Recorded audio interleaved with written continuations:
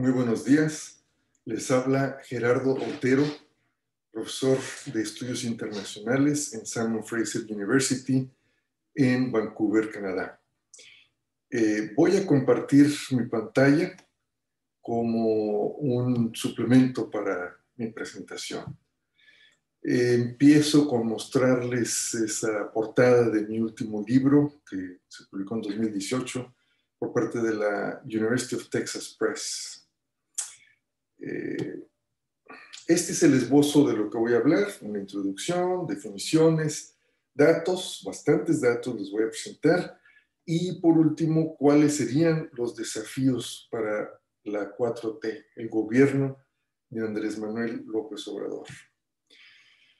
Entonces, como introducción, pues nada más tomar en cuenta de que el vuelco neoliberal se da a partir de 1986, es la fecha en que otros se podría, podrían decir que en 1982, cuando entra Miguel de la Madrid, yo pongo esta fecha porque fue cuando México ingresó al GATT, al Acuerdo General sobre Tarifas y Aranceles. Entonces ahí eh, eso privilegió la apertura comercial que empieza en el aspecto agrícola, sobre todo en 1988-89, cuando ya Carlos Salinas de Gortari estaba en la presidencia.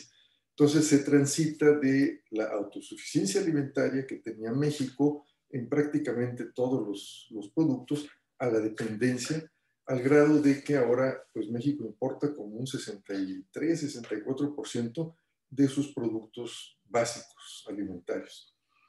Y eh, no es casualidad de que México es de los países que tienen eh, una de las mayores incidencias de obesidad y esto, desde luego, ha complicado tremendamente la pandemia del COVID-19.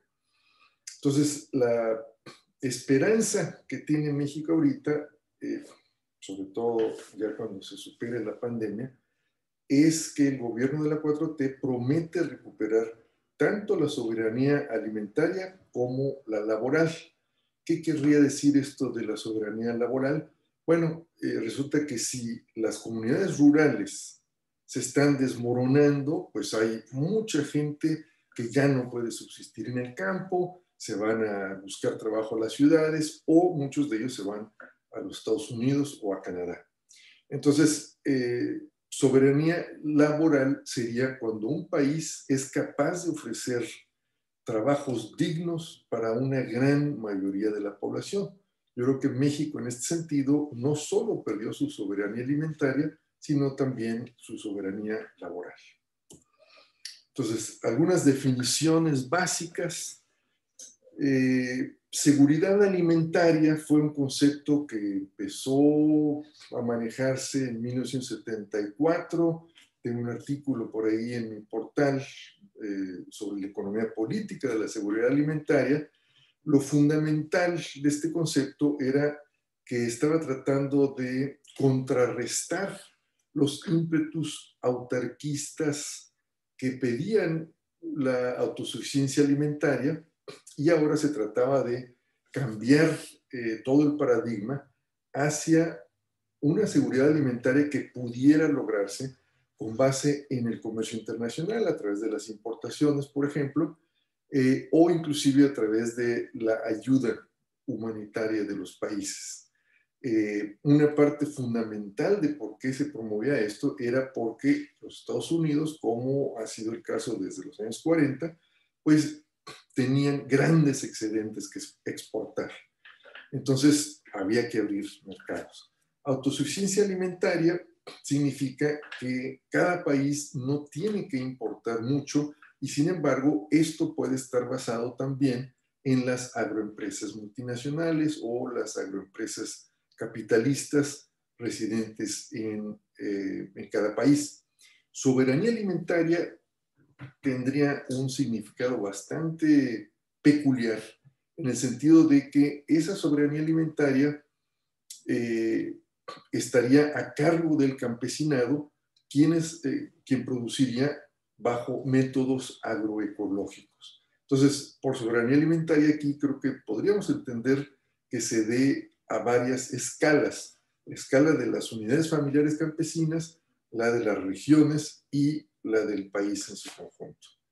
Entonces, la dieta neoliberal, que voy a abundar un poco más en eso enseguida, está basada sobre todo en carnes, o sea, un movimiento hacia la carnificación de la dieta y alimentos densos en calorías.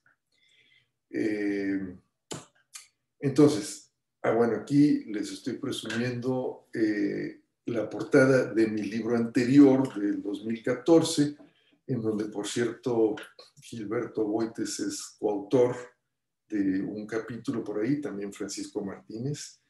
Eh, entonces aquí pregunto, ¿qué es la dieta neoliberal? Bueno, miren, es la versión globalizada de lo que también se ha llamado la dieta industrial. Surgió, como lo mencioné, en los Estados Unidos en los años 40, densa en calorías eh, y ultraprocesada. Aquí quiero aclarar que esta densidad de las calorías, o sea, hay otros, hay que distinguir por lo menos dos tipos de densidad calórica. Una sería la de alimentos tipo las nueces, los pistachos, que son densos en energía y en, grasas que son benéficas, de hecho, para el cuerpo humano, pero hay eh, las nuevas eh, calorías son las que no van acompañadas de nutrientes. En ese sentido, digo yo que no todas las calorías están hechas iguales, sobre todo porque no todas van acompañadas de esos elementos eh, nutritivos. La dieta neoliberal tiene dos componentes generales, los básicos, que serían los principales que componen lo que se llaman los bienes salariales, es decir, eh, en lo que una parte sustancial de los salarios se gasta. Se gasta para alimentarse, eh, para reproducirse, pero también están los bienes de lujo. Podríamos decir que en general las carnes son productos de lujo, aunque las carnes mínimas están diversificadas, eh, por ejemplo, entre los cortes finos y la carne de hamburguesa. Ahora el pollo, diría yo, que es la carne neoliberal, en el sentido de que es pues, la más accesible económicamente. Eh, otros productos de lujo serían, pues, por ejemplo, las frutas y verduras, que se han estado encareciendo. Entonces, no hay ningún prejuicio en particular respecto a qué tan nutritivos o no nutritivos son esta designación de básicos y de lujo. Puede haber básicos muy nutritivos y otros, pues de plano, nocivos para la salud, lo mismo con los de lujo. Eh, entonces, estas designaciones se refieren básicamente al acceso, mayor o menor acceso económico. Y una característica de la dieta neoliberal, todos básicos y de lujo, es que es muy intensa en el uso de energías fósiles. Entonces, consecuencias para quién? Definitivamente para las clases trabajadoras, en particular el aspecto básico o los componentes básicos de esa dieta son las más expuestas a la dieta neoliberal. Para el 2014, resulta que el 58% del consumo calórico consistía en alimentos procesados en la Ciudad de México, mientras que en China era del 30%. El régimen alimentario neoliberal y su dieta, este es, eh, digamos, el marco teórico en el que ubico eh, mi entendimiento de la dieta. Creo que cada régimen alimentario eh, tiene una dieta correspondiente. Yo he propuesto alguna teorización sobre el tercer régimen alimentario. Estos regímenes vienen pues, desde 1870, que empieza a globalizarse la división del trabajo en la producción de alimentos. Y lo que destaco yo eh, del régimen alimentario neoliberal, que empieza en los años 80, es que tiene cuatro elementos dinámicos o factores dinámicos, digamos, ¿no? El Estado, las agroempresas multinacionales, la biotecnología como tecnología fundamental, sobre todo para la producción de soya y maíz, y los supermercados como agentes que acaparan y distribuyen eh, esta nueva dieta. ¿no? Eh, la soya y el maíz son muy importantes, sobre todo para la alimentación del ganado, pero también para la producción, en el caso del maíz, de elementos o alimentos muy densos en energía que contienen jarabe de maíz de alta fructosa, que por cierto también es una un producto de la biotecnología que salió por allí en 1978. De hecho, yo lo ubicaría como uno de los primeros productos de la biotecnología. Bueno, pasemos a los datos. Todos los datos los he bajado yo de la FAO y de FRED, que es Federal Reserve on Economic Data. La FAO, pues, es la Organización para la Agricultura y la Alimentación de las Naciones Unidas. Esto es de la FAO. Y nos dice cómo ha evolucionado la población urbana y rural de México. Tenemos que de una población de aproximadamente 60 millones en 1990 urbana, y unos 25 millones eh, rurales, pues brincamos a más de 100 millones y más o menos los mismos 25 millones en el campo. Entonces, México se ha urbanizado tremendamente, poco más del 80% por ciento de la población ya es urbana. Eh, o sea que, eh, como aquí la cantidad absoluta se mantuvo, pues ya en términos relativos, ya eh, México tiene como más de 80% de población eh, urbana. Eh, los datos de desnutrición, fíjense que estos los acabo de bajar ayer, entonces me sorprendieron, ¿no? Porque, pues sí, en términos absolutos, estos son millones de personas, ha aumentado bastante y son promedios de tres años. Entonces, hasta 9 millones de personas que están desnutridas. Entonces aquí tenemos dos fenómenos de, de inseguridad alimentaria. Uno sería este, que denota que hay muchas personas, 9 millones de personas, que tienen insuficiente acceso a los alimentos. Y esto se ve pues aquí también, ¿no? Con personas con inseguridad alimentaria severa, eh, que no necesariamente desnutridas, entonces eh, la parte desnutrida sería un subconjunto de estas personas con severa eh, inseguridad alimentaria que llega a casi 15 millones de personas. La otra parte de la inseguridad alimentaria, diría yo, que proviene ya no tanto de la cantidad en el acceso a los alimentos, sino de la calidad.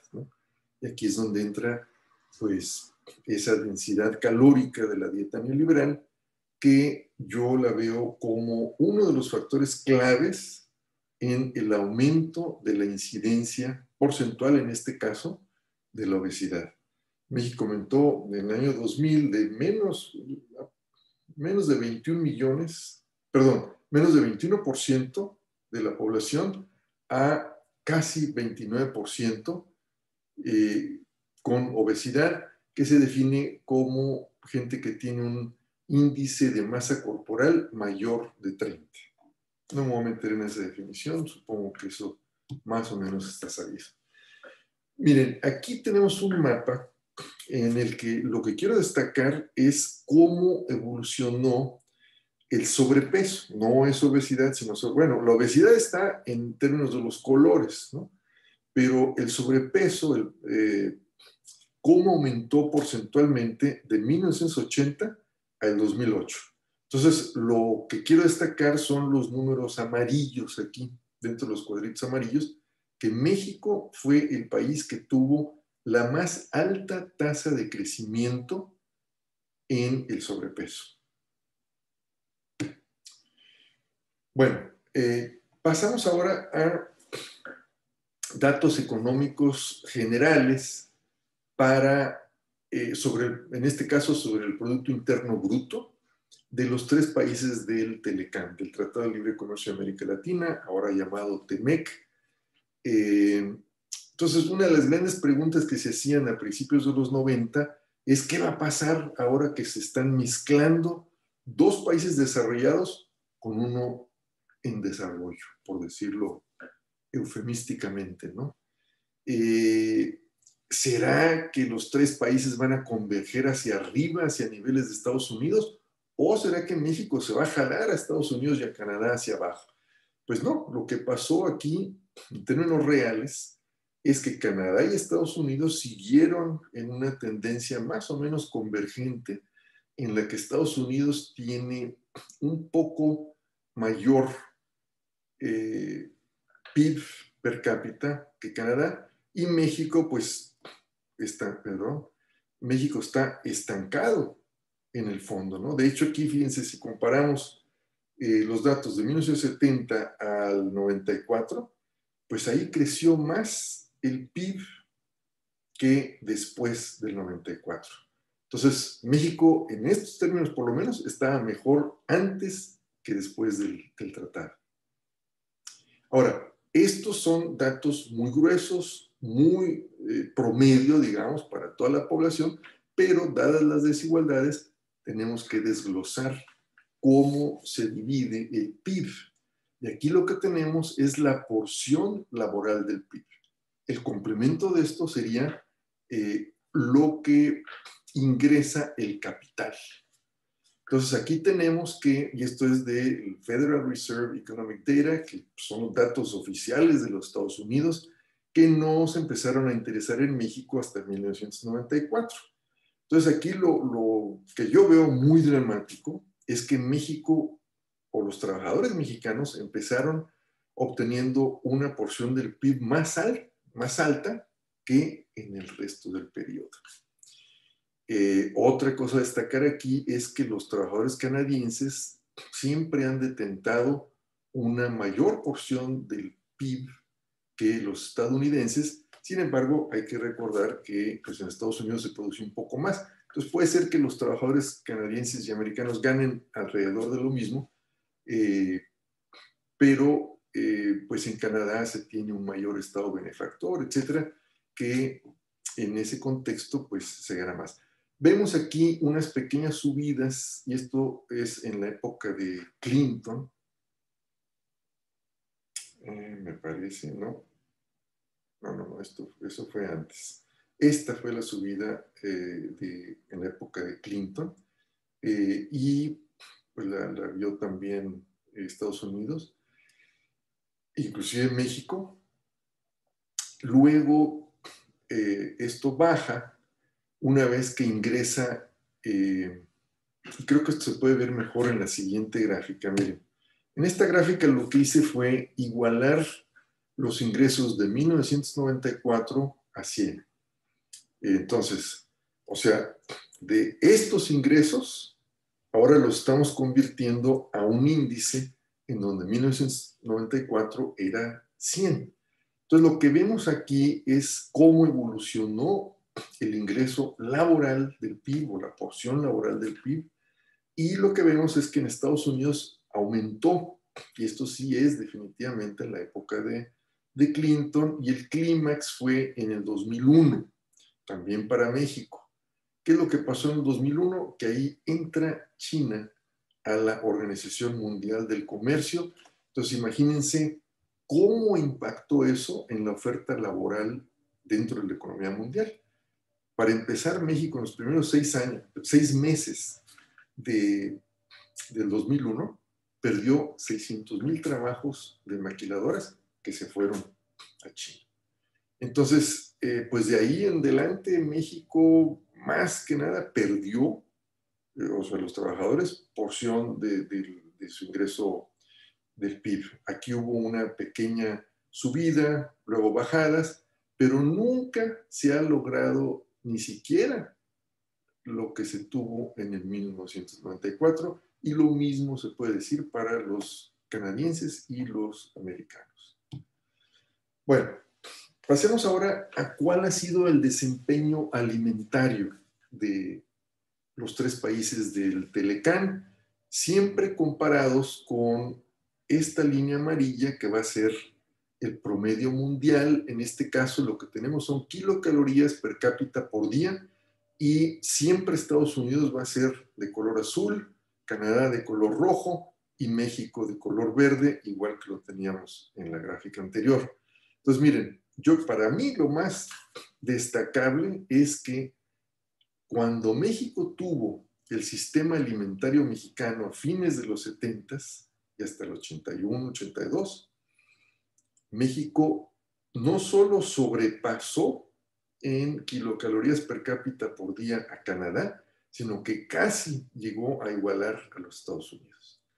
Y eh, pues habría que desglosar esto, ¿no? A ver cuáles fueron la, la, calidad de las proteínas o de las calorías que se ingerían en esa época, pero el punto principal es que de aquí en real, de aquí para real, pues México se estancó en su desempeño kilocalórico alimentario. Ahora bien, ¿cómo es que México se ha hecho más obeso si no está consumiendo ni siquiera lo que consumía en el 1981? Bueno, pues vamos a ver. Aquí lo que tenemos es un desglose, yo diría, de el aspecto cualitativo. Resulta que México inició este largo periodo de datos que tenemos de la FAO que empieza en 1961 y en este caso llega nada más hasta el 2013. En datos comerciales llegan hasta el 2017, 2018, pero en estos no. Eh, entonces, fíjense cómo México empieza con casi 75% de las proteínas provenientes de vegetales, o sea, de eh, frutas, verduras, bueno, de verduras sobre todo. Eh, frijoles, eh, en fin. Em, entonces estábamos muy por encima del promedio mundial. Ya para fines del 77, México desciende por debajo del promedio mundial en el consumo de proteínas vegetales. Y fíjense cómo Canadá mejoró su desempeño en calorías vegetales, mientras que Estados Unidos, pues, mejoró un poquito, pero básicamente medio estancado. ¿no? Y eso se lo atribuyo a que hay mejor nivel de vida en Canadá que en Estados Unidos. Miren, eh, la contrapartida de esto es, desde luego, pues que México aumentó su consumo de proteínas animales. Entonces, eh, y estas proteínas animales vienen de todo, ¿no? O sea, de leche, quesos, eh, huevos y, desde luego, carne. Entonces, esta gráfica sobre exportación e importación de frutas y verduras de México la pongo como parte de la explicación. No se los puedo explicar en mucho detalle, pero aquí lo que está clarísimo es que México exporta mucho más de lo que importa en frutas y verduras. Entonces, ¿cuál es la consecuencia en términos de precios de esto? Pues que las frutas y verduras, y de hecho los alimentos en general, se han convertido en los precios más volátiles en México desde el 2007, que se dio la crisis mundial de inflación eh, en los precios alimentarios. Entonces, en conclusión, tenemos que el, la región del Telecán se puede considerar como un microcosmo del régimen alimentario neoliberal. En México se consumen más cárnicos y alimentos más densos en energía y hay una divergencia clasista en las dietas. Se los podría demostrar con muchos datos que tengo, pero no tenemos tiempo, entonces nada más les doy esta conclusión de que las clases media, alta y alta están consumiendo más carnes, frutas y verduras, y entre paréntesis les pongo vino porque eso no lo he podido estudiar muy bien porque no hay suficientes datos, pero es mi hipótesis, mientras que las clases bajas y medias consumen más alimentos densos en energía, posiblemente más pollo y más cerveza. Entonces, la cerveza sería eh, la bebida alcohólica básica y el vino sería la bebida alcohólica de lujo. Entonces, ¿qué piden los movimientos sociales? Bueno, aquí les presumo un cuadro que me pintó mi hijo en 2016 para mi cumpleaños, eh, porque sabe por dónde cogeo. Entonces, este, pues aquí está el moto de uno de los principales movimientos agrarios, sin maíz no hay país y sin frijoles tampoco. Entonces piden soberanía alimentaria, regeneración del campo, conservación de la biodiversidad y reducir la desigualdad. Yo creo que reducir la desigualdad es una condición importantísima para que la gente pueda tener un mayor acceso a los alimentos más saludables. También habría que hacer todo lo anterior, creo yo, para que la estructura productiva de la alimentación pueda enfocarse en una producción más saludable. Ahí termino y estaría dispuesto a tomar preguntas. Muchas gracias.